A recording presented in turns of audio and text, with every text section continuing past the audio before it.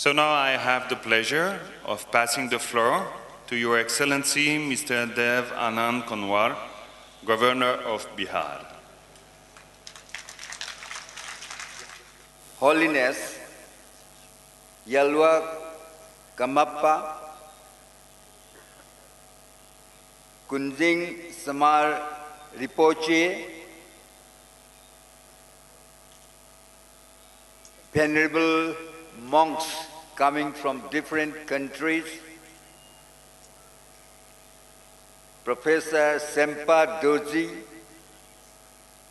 I'm sorry I will miss his speech, who will be speaking on first Karmapa, then president of this great historical and religious congregation on 900th anniversary of the first Karmapa Dusum Khyenpa and president and secretaries of Mahabodhi Mahavihara Management Committee and the head monk of the great Mahavihara under the holy Bodhi tree. And ladies and gentlemen who have come to this great congregation from different countries and distinguished visitors and observers coming from many Buddhist countries and cultures. I am immensely pleased to be present here and be a part of this great historical occasion of 900th anniversary of the first Karmapa at Bodh in this Kal Chakra Maidan, which is already known to the world so famously. Because this is the place, this is the holy spot where Prince Siddhartha, it was called Uruvela in those days, and Prince Siddhartha came down from Kapila Bacho, Kapila Vastu, to this Uruvela, and here he attained what is called the supreme wisdom. And therefore, Gautam Siddhartha became Buddha or the enlightened one.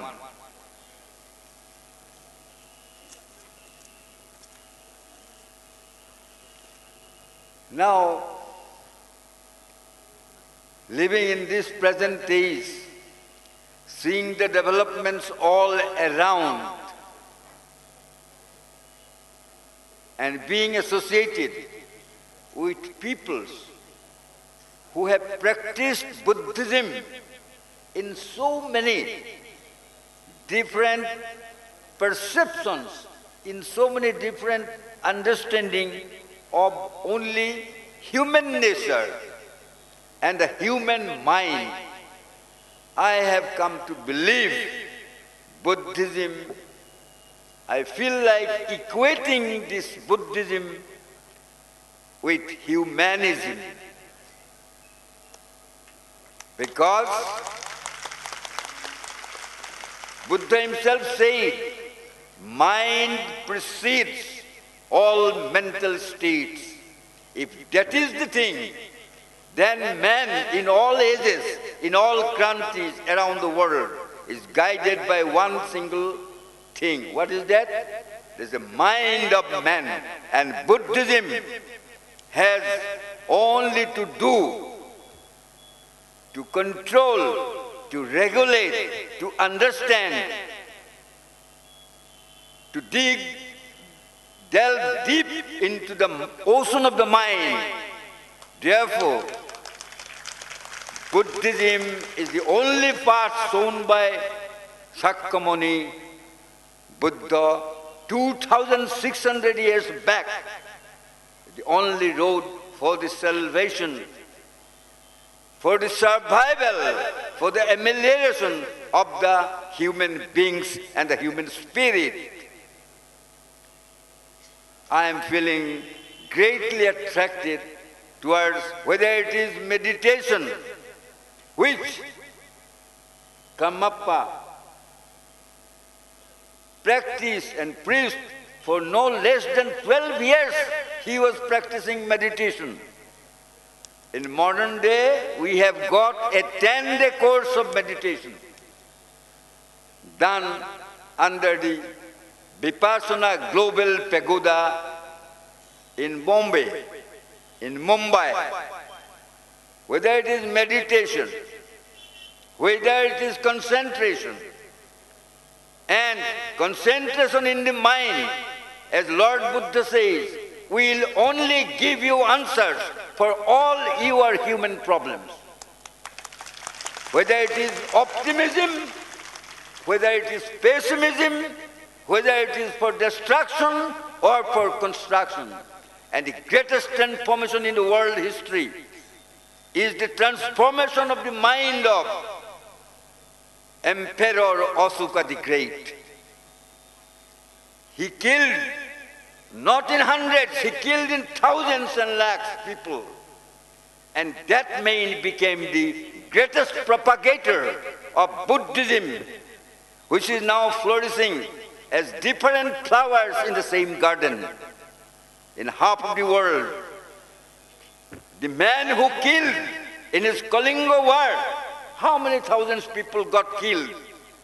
Immediately after this, once he came into contact with Lord Buddha's teachings, he understood what is the human spirit, what constitutes humanism, and the progress, peace, brotherhood, and compassion in this world. So he left the sword and he became the greatest propagator of Buddhism as long as he was alive. Peace and compassion and non-violence became the state policy of the empire of Ashok the Great.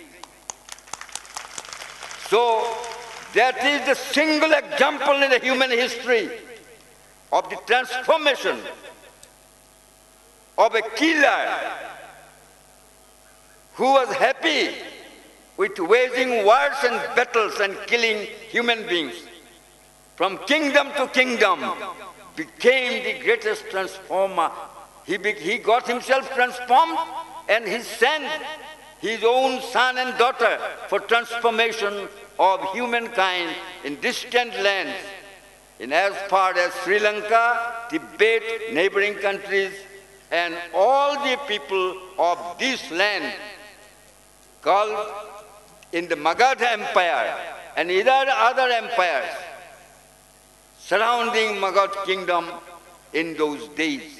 So the greatest and shining example of any single human being transformed from being a bloodthirsty animal to a compassionate, with loving care and showing the path of non-violence and love. This is the greatest transformation of a humankind. So I feel greatly attractive. And Buddhism is not one. There are so many forms. Apart from Hinayana, Mahayana and all these things. There are Tibetan Buddhism. In Sikkim there is Buddhism.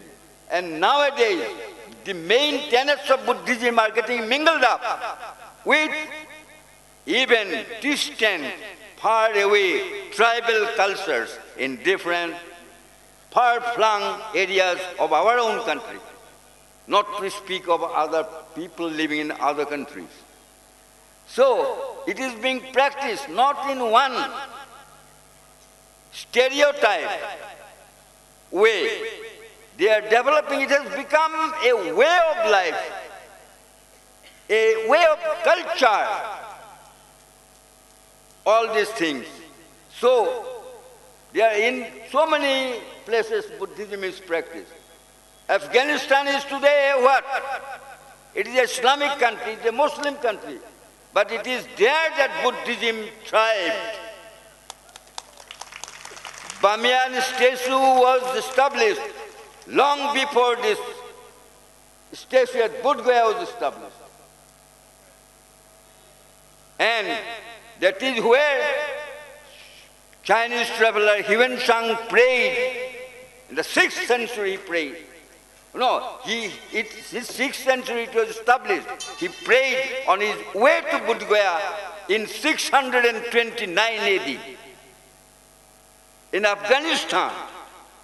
So how he cuts across all this, it makes the borders of countries fall down, cultures of countries to mix. So this is the only, only way and the royal rate to success, survival of humanity. I am very happy the organizers have organized in such a decent and grand manner this congregation on the occasion of 900th anniversary of first Karmapa Dusum Khyenpa. Not only in Sikkim, Bhutan, Nepal and other places, even we have got very small minorities of tribal people who are living on the hilltops, inside the jungles in northeast India, Assam, Mizoram, Manipur, Nagaland, Tripura, in the Chittagong Hills, Arakan Hills in Bangladesh, there are tribals who are practicing Buddhism. And they are rigorously following its main tenets, which is putting a great influence, great impact on their individual as well as communal life. And ultimately, that is the light. Those are the flickers in dark spaces of our countries. I am very happy on this occasion to be a part of this function and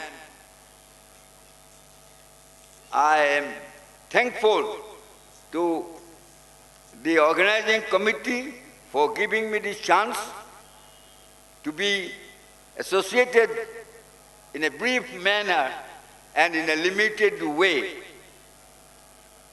Particularly, I appreciate the proposal of celebrating this 900th anniversary of first Karmapa under the guidance and initiative of His Holiness the 17th Karmapa Trinley Thaye Dorje and His Holiness the 14th Shamarpa Rinpoche.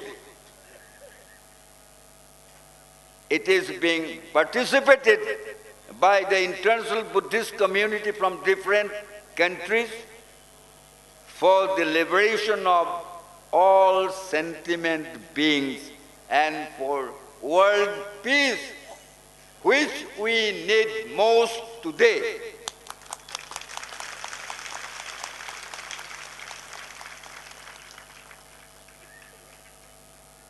As I have been informed, Karmapa is the first tulku in the history of Tibetan Buddhism and is well known Lama in the world.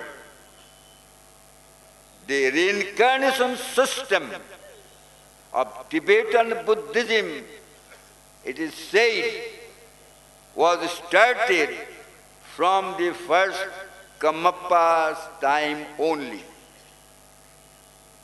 Lot of people are trying to create confusion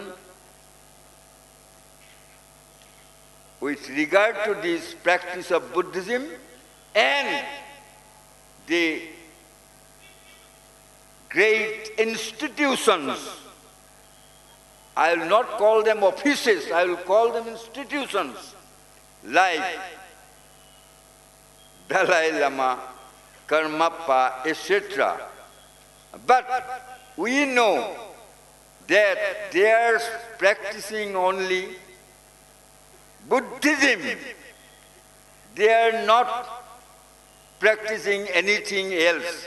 And Buddhism, as Lord Buddha himself has said, constitutes of wisdom, teachings. It has to do everything with the mind, nothing with matter. Therefore, we must not allow ourselves to get confused with those confusions that are being sought to be created, with the institutional institutions and institutional functionaries by some people around the world. It is the matter that is becoming destructive. It's mind that will take ultimately the upper hand, will get the upper hand, and mankind will be saved. Thank you all very, very much. And now I invite the most respected Gyalwa Karmapa to proceed with the presentation of the trophy to our guest of honor, His Excellency Mr. Dev Anand Konwar, Governor of Bihar.